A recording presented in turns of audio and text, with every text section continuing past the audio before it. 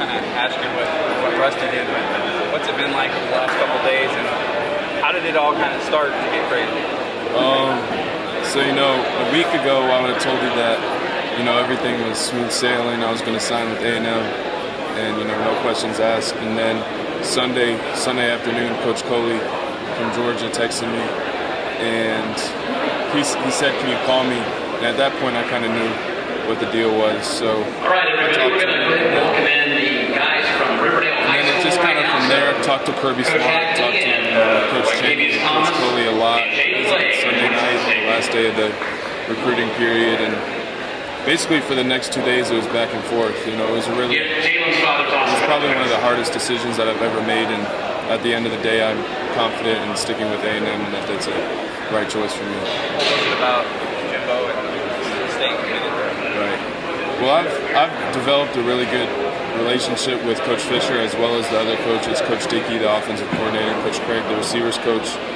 Um, and just that relationship and knowing that Coach Fisher believes that I can bring a championship to Texas A&M and, and that I can reach my full potential through Coach Fisher definitely played a big part in that. Does his history with quarterbacks make a difference to you? Um, it definitely, the proof is definitely in the pudding. So, you know, the talk is the talk is the truth when he says that he shoots it straight, and that's something that I definitely value in him. SEC West, there's no uh, no slouch. What's it going to be like to play against the Bamas and Auburn every year? Um, it's exciting. I'm really excited for the opportunity. It's a challenge that I'm that I'm willing to take on, and I know that our class is really good, and you know those guys are starting to become my brothers. We've kind of started a family, and we're all excited for the challenges ahead of us, and I think that we can take advantage of it. Not, don't want to take away from your day, obviously, but you said Sunday was when Coach Coley tipped you off that, like, hey, we, we, we need another quarterback. Right, when they found out that uh, Justin Fields was planning on leaving. Yeah, I mean, just you seen how, how much people were reacting to that news. I mean, was that kind of hard for you to not tell anybody, or Um, a little bit. It was kind of one of those things where the opportunity to play my home for my hometown was really hard to turn down. But at the end of the day, I had to go where my opportunity was best.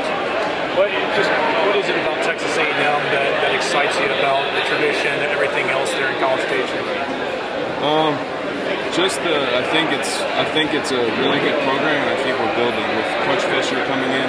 He had a really good first season, a lot of stuff to build off of, and I think that with everyone we're bringing in and the way that he's been able to develop teams and quarterbacks, I think we're going to be successful. You found out it's a pretty unique university. Yes, sir. Yeah. Uh, Midnight Yell, anything like that? Yeah, so I, on my official visit, I went to the Midnight Yell, was that was crazy. And at the game, I've gone to the Clemson game and the LSU game this year, two probably the best atmospheres I've ever been to. What about you already got a guy that's going to be pretty good to learn from in Kellen Mond. I mean, what have you been able to pick from him? Um, so I've talked to him a couple times, started developing developing that relationship with him, and I'm really excited to learn from him. Uh, you know, getting there in spring and learning the offense and kind of developing under somebody that's who's already started for one and a half years. So I'm really excited to start learning under him.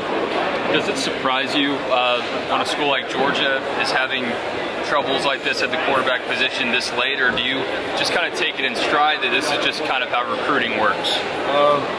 A little bit of everything. You know, Georgia's definitely a really successful football program, so you wouldn't think that it would be too hard to get somebody, but at the same time, you know, signing two five-star quarterbacks in a row, that's something that you would think would happen. But at the same time, you know, it doesn't necessarily surprise me just because that's recruiting. Thanks, Zach. Good luck, man.